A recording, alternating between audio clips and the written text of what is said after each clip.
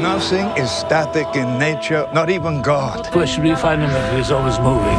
On the journey, 제가 휴가 떠나기 전에 네.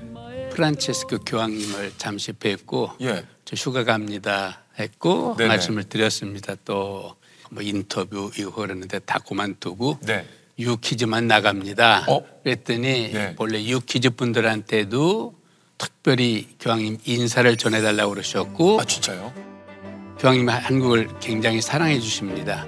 이 시청하시는 모든 분들에게 교황님의 특별한 인사와 축복을 전해드리고 모든 분들 어려움이 많지만 잘 이겨내고 행복하시길 바랍니다. 아 고맙습니다. 이제 이 반지인데 교황님이 주신 아 이게- 그 이게 반지군요. 이제 교황님 주신 이게- 요거를 강도에게 한번 뺏긴 적이 있으세요? 맞아 지난 2월 달에 이제 오늘 신부님을 보러 가는데 자동차 타고 가서 이제 그 신부님 배를 눌렀는데 이렇게 하고 있는데 누가 딱 보더니 그 머리에 모자 탁 뒤집어 쓰고 아, 선글라스 두건, 예, 뭐 복면 두건이죠 그러니까 우리 그리고 아 선글라스 고 네, 이제 네. 마스크는 뭐좀 네, 네. 하고 페르마 페르마 이건 페르마 멈춰 멈춰 뜻이거든요 이렇게 했더니 솔디 솔디 솔디는 돈이에요 네.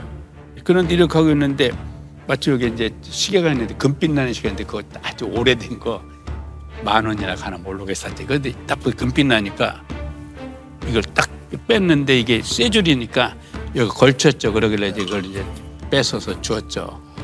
보더니 이게 금이니까 네. 아넬로 아넬로는 반지라 뜻이 아넬로 그 교황님이 나한테 준 거라더니 아넬로 그래 빨리 내놔라 이거야.